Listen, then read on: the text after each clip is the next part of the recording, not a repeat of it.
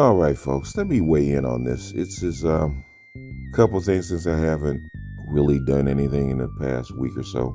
Let me just jump in here real quick about domestic politics, which I despise. I really do despise domestic politics. I've forgotten why I despise domestic politics, but this election season has reminded me why I do.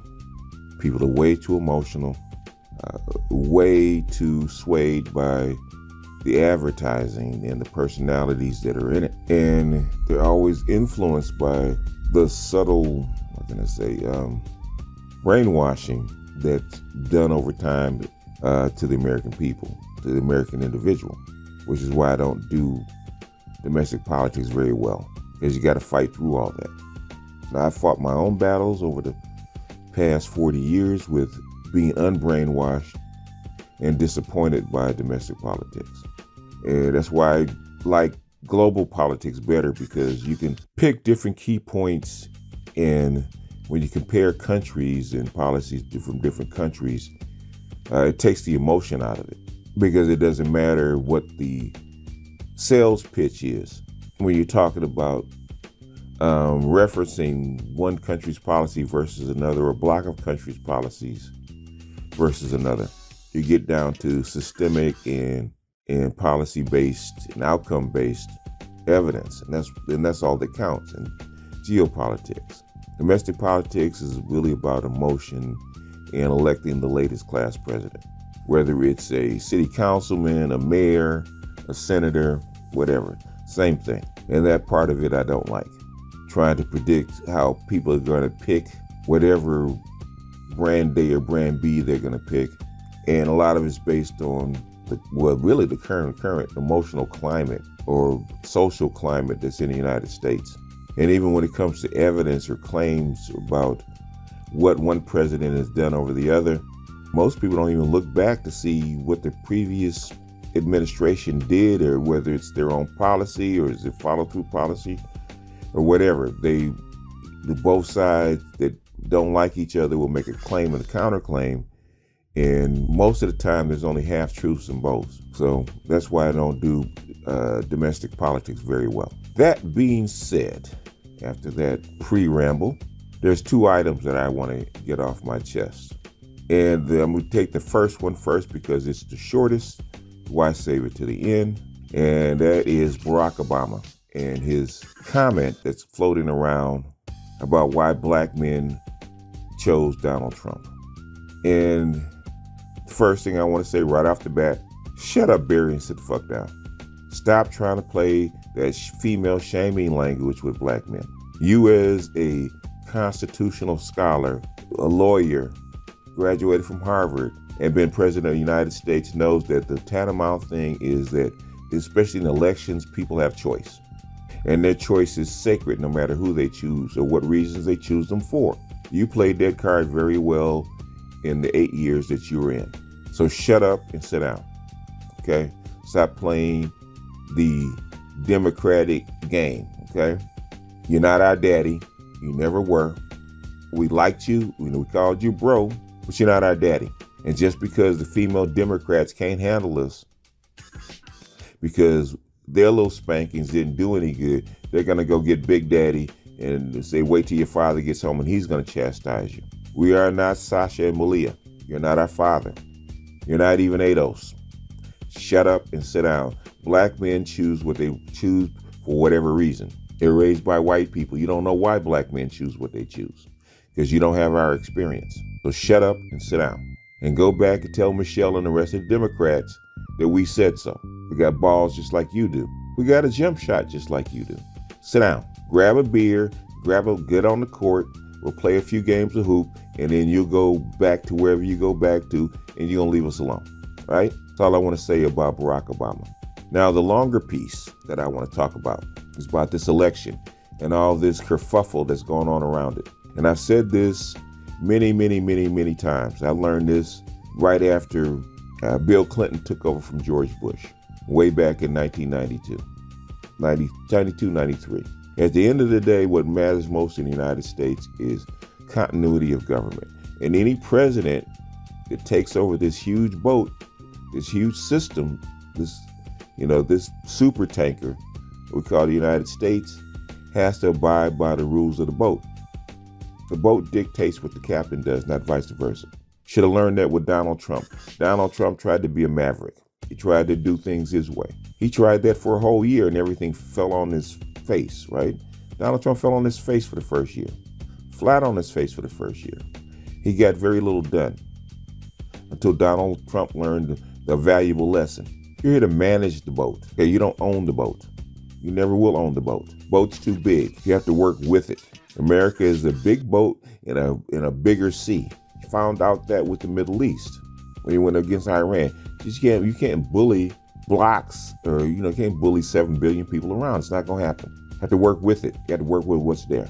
Any president that comes into office, Barack Obama included, you have to work with what's there. You get a big pile of papers and problems you need to solve on day one, and you can't solve them all. Donald Trump couldn't solve them all. He couldn't even come close to solving them all. He never will. Donald Trump didn't have the skill to solve all this stuff. That's how come he had to bring in so many people, some good, some bad, that were experts in what they do because he's not. A few times he almost screwed the pooch by being hard headed. But Donald Trump did learn. That's why I give him credit. He got better. He was horrible. His first year, he was a horrible president. Didn't mean horrible.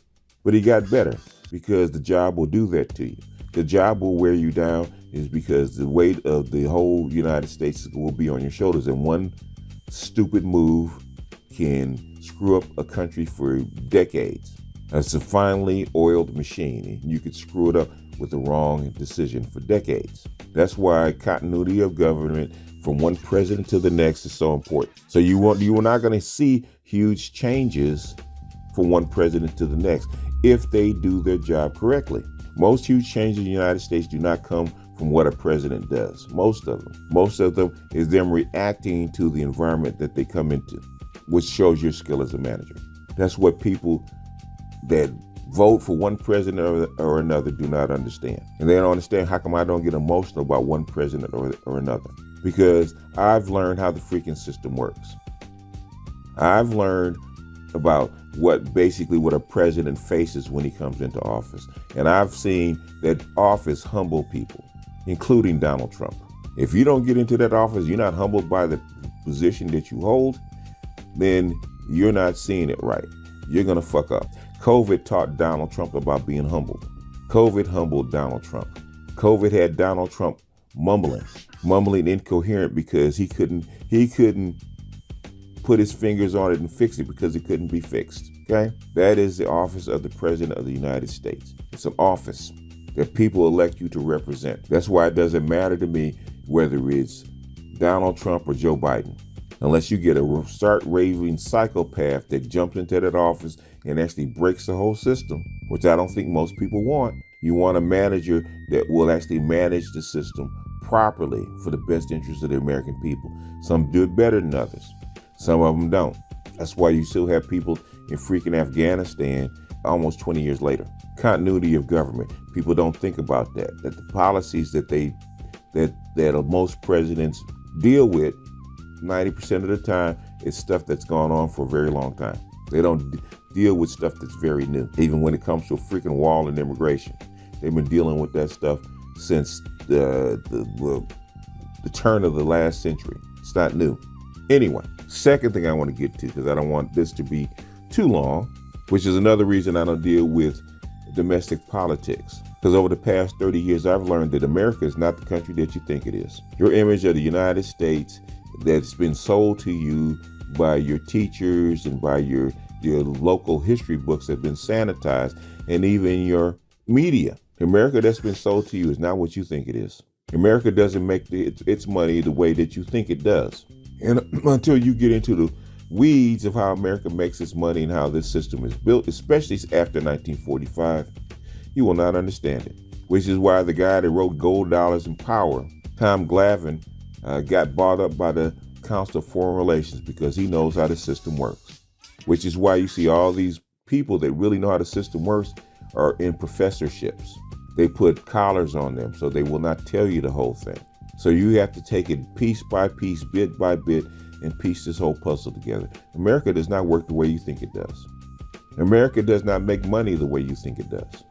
If you study what Nixon did with getting off the gold standard, being forced off the gold standard, Nixon didn't voluntarily get off the gold standard, trust and believe. Being forced off the gold standard in 1971. And the uh, stagflation and the disruption, uh, financial disruption that ensued in the 1970s. People think the 1970s were a breeze. They were not. People think that uh, it was all uh, 1970s uh, was a golden age. They were not. Basically, 1970s you went through austerity measures for a good seven to eight years. Then, really, you went through austerity measures for a decade, and people suffered under my austerity measures for a freaking decade. And they bury that in history book like it was so groovy and it's so nice. It was not. But that shows you how connected this world is and has been really since the 1850s. And you don't live in a singular civilization, uh, uh, multipolar uh, civilization. You basically uh, live in one. The Chinese are trying to make it multipolar. They're trying to reverse what was already done. And you think that the United States is trying to become isolationist under Donald Trump? One, number one, it, it can't happen. Number two, it won't happen. And number three, the United States it, it, businessmen in the military won't let it happen because you don't make your money here. You make your money abroad. But most people don't know how the system works because they they forget about the dollar system. They don't understand it. And I've tried my best to explain it to people, but people that can't grasp it. The United States will never be isolationist. And if it does become isolationist, you are going to suffer from it. But people don't think about that. People think Donald Trump's policies work for the American people. The only reason that's happened is because Donald Trump is willing to borrow more money to cover up his mistakes, which is why you have a Republican rebellion on the inside against Donald Trump. There's lots of key factors that we won't even go into about Trump and what has happened globally and what has backfired globally that affects us right now. We don't want to go into that, which which proves that number one, most people don't know how this country works. And if you told them how this country works, they wouldn't believe you in the first place because they're too indoctrinated into the matrix. You unplug them, they're gonna go. They will actually go ballistic. If you knew how this country works, if you knew how this country works within this global system, this imperial system that the United States has set up since 1945, you wouldn't care who the president is, uh, one way or the other. You really wouldn't, which is why I don't which is why I don't do domestic politics very well. Which is why when the, the, word comes out that a certain person is in or out, the person's in or out. It doesn't matter whether it's cheating or not cheating, or it's been scammed or not scammed. At the end of the day, when a decision is made for a president to come in, the president is going to come in whether you like him or not. And you just have to deal with him. He's going to be locked in for four years whether you like him or not. I didn't like Trump. The thing is, he's going to be locked in for four years. And his ability to manage the system is going to affect your life, your daily life, one way or the other. And what you hope is that the knucklehead will have enough skill not to fuck anything up. That's really what you want. Do your job, implement your policies, and don't screw anything up. Don't touch the wrong button. And some presidents have had their hands slapped back by touching the wrong button. Which is why, for the most part, as far as this election is concerned, I don't do a daily thing on election because basically people are way too emotional about this crap.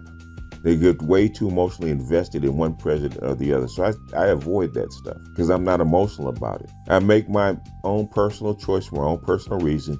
Yay, Kanye West is who I voted for. Just because at the end of the day, it really doesn't matter. And the further we get deep into this morass we call global, this, this global decline, the less that it matters no man, no group, no uh, idea, short of going out there and, and, mining the asteroid belt and bringing back uh, wealth and minerals, is going to solve it.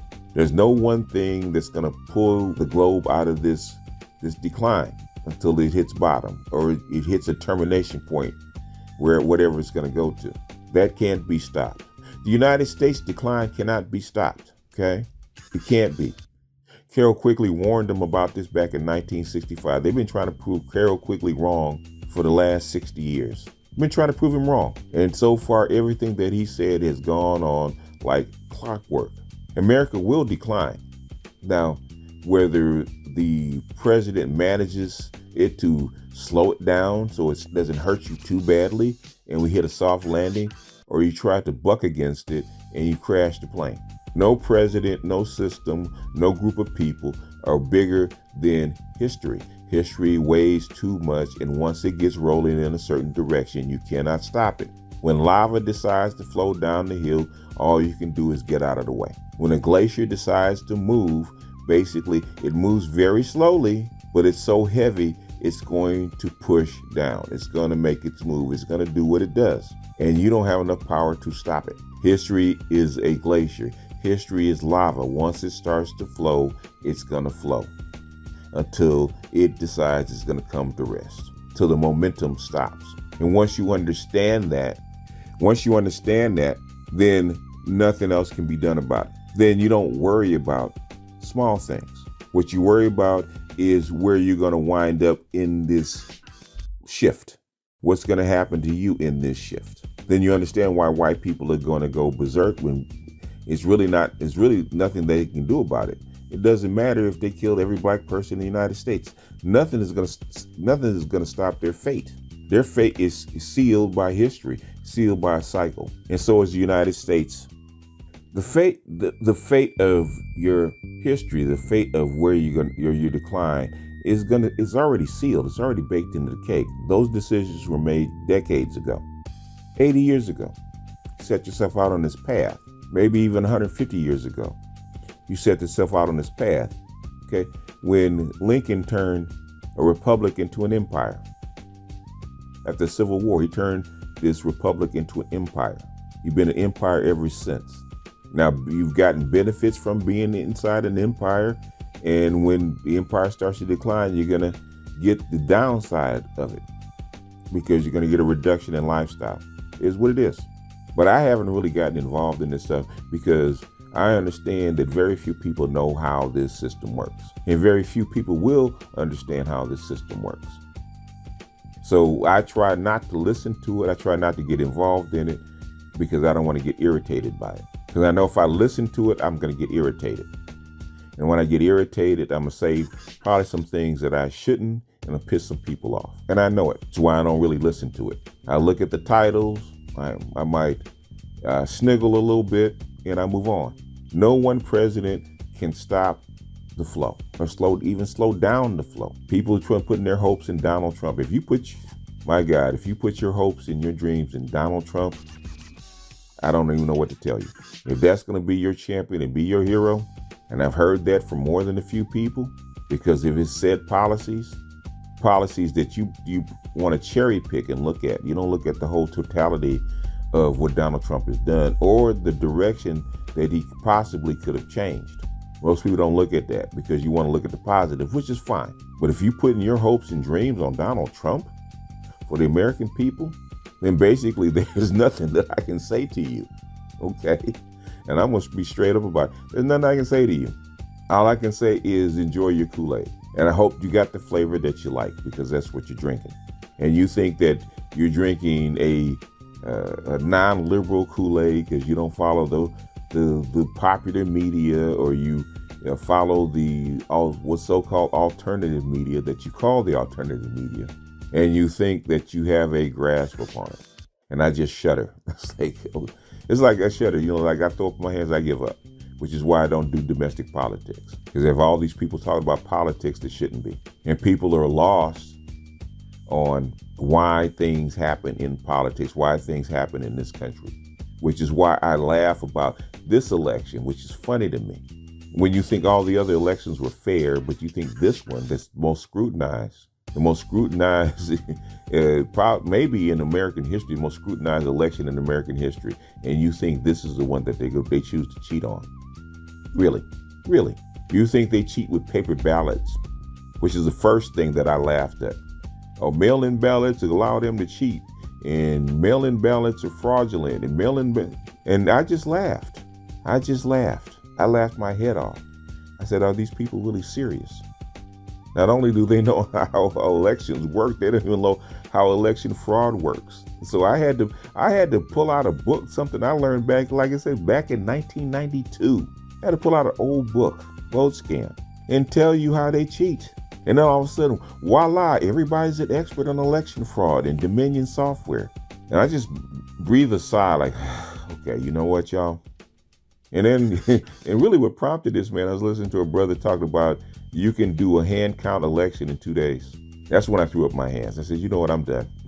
I'm dead. So, so basically, hopefully I don't have to do too much more, you know, um, election politics. I'm sure when Biden gets in, you know what the, the, controversies will come up left and right. So you know when, when he gets in, we see he have to see who his cabinet is.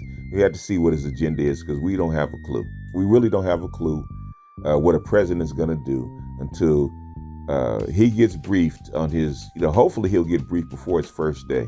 Until he takes sits in the Oval Office and he gets the keys to the Oval Office and they come in and he plunk down all the paperwork, all the stuff that's left over from the last administration that he has to start cleaning up and working on. Either you're going to keep some policies, you're going to reverse some, you're going to tax some, you're not going to tax some. and until then, you have no clue of what his direction is, what his priorities are, because they will automatically shift when he actually has to sit in the driver's seat and run and actually uh, uh, steer the boat, which is why I don't even speculate what Biden will do because I don't know. That's why I didn't even speculate what Trump would do until he got in office and he had an agenda.